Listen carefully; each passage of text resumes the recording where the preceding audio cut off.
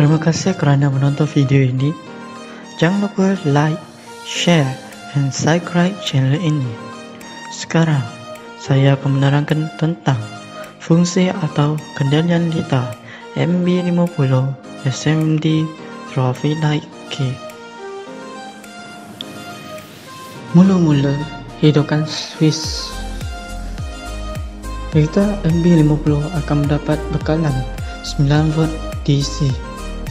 Saya akan terangkan konsep IC55 dahulu.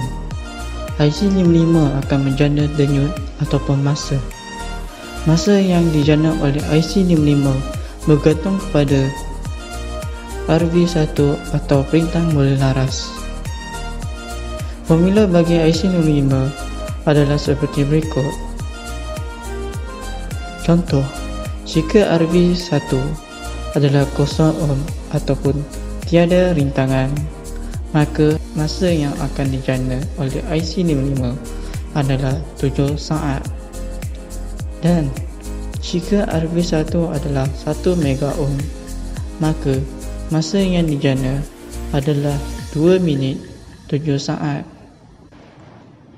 Seterusnya, saya akan terangkan konsep IC CD 4017. Keluaran IC55 bersambung dengan masukan IC CD 4017. IC55 mengawal masa IC CD 4017. Mari kita ke datasheet IC CD 4017. Anda boleh download datasheet link di dalam description bawah. Kita terus ke timing diagram. Dalam timing diagram ada clock, reset, clock inhibit dan sebagainya. 0 hingga 9 dan carry out adalah keluaran pin bagi IC CD 4017. Carry out pin bersambung dengan LED merah, 5 hingga 8 pin bersambung dengan LED hijau dan 9 pin bersambung dengan LED kuning. Kita akan fokus pada 5 hingga 9 dan carry out dalam timing diagram. Mula-mula, carry out akan beri denyut satu. LED merah menyala. Bila carry out sampai ke 5, denyut satu, carry out akan jadi denyut kosong. LED merah padam. Manakala LED hijau menyala. LED hijau mempunyai 4 denyut iaitu 5, 6, 7 dan 8. Ini bermaksud LED hijau akan hidup sehingga denyut ke-8.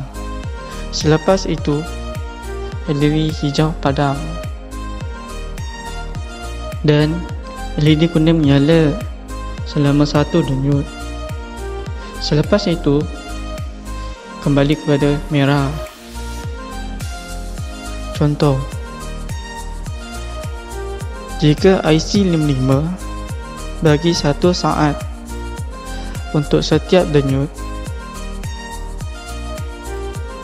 maka LED hijau akan menyala sehingga 4 saat.